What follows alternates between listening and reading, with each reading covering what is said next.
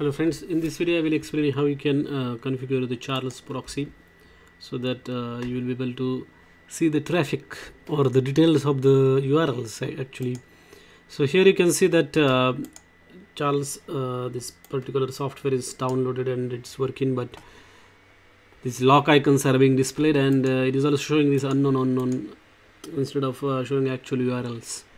So the main reason why this is happening is because you haven't installed the certificate and also SSL uh, proxying is not enabled. So there are two settings you have to make and then restart the Charles. Then you will be able to see the traffic uh, and its details. So first uh, thing that you need to need to do is go to help and then click on SSL proxying then click on install Charles root certificate.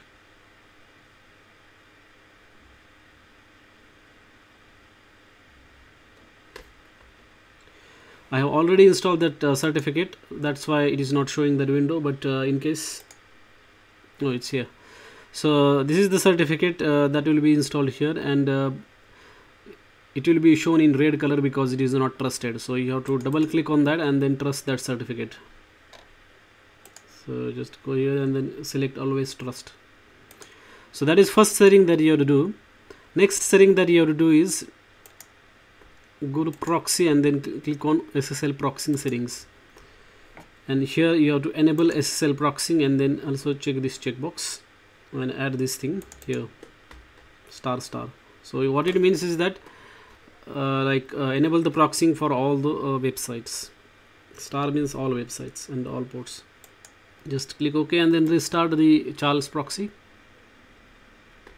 Actually it's not required to restart. You can see this uh, lightning icon is being displayed but in case it is not working you, you, you need to restart the charles and then it will display all the uh, urls and uh, see here it is showing unknown unknown. So you need to restart the charles for that. So let us restart the charles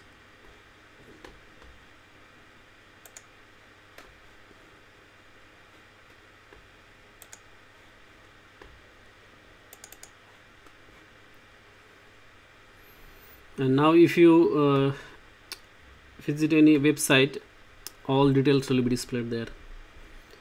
So what I'm gonna do is I'm gonna just refresh this website and then let us see if it captures the traffic.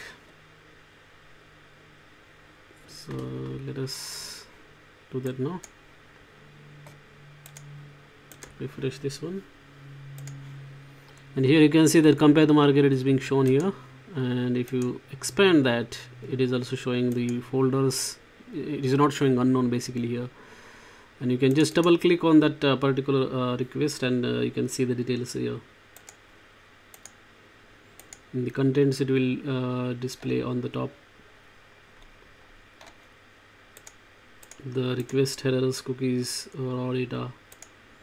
And down here it is showing the response details one thing I like about Charles uh, as compared to Fiddler is that in Charles you get these folders or the directories or actually the requests are grouped per domain. So here you can see that requests are being grouped here. So it's very easier to see like uh, what all requests were sent for that domain. Thanks for watching this video